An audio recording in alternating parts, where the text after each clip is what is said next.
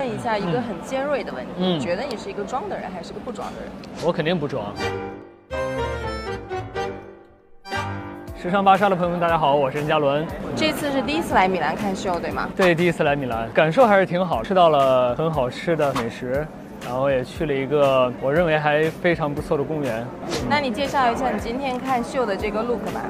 哦，今天就穿了一件是来自 H 最新季的这个刺绣夹克衫，无论是领口啊还是这个袖口，它都有这种花卉的刺绣，我觉得非常的百搭，啊，所以我很喜欢，我第一眼就中意了，而且版型也特别好，哦，没有人会不喜欢这件衣服吧？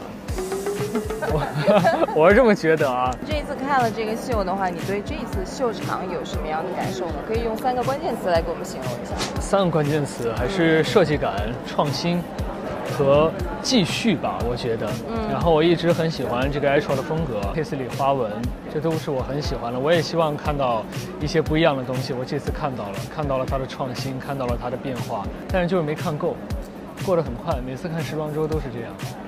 Fashion 就是一闪对即逝的，对，就是刚享受，可能短短的一小片刻，然后就过去了。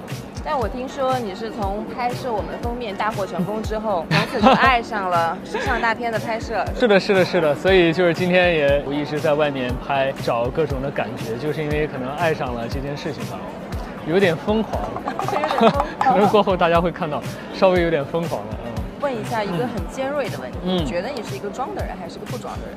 我肯定不装，对，那你觉得时尚呢？fashion 的话，那是应该装还是应该不装？我觉得要追寻个人特色，因为每个人喜欢的东西不一样，如果他勇于展现自己喜欢的东西，我觉得都是我很欣赏的。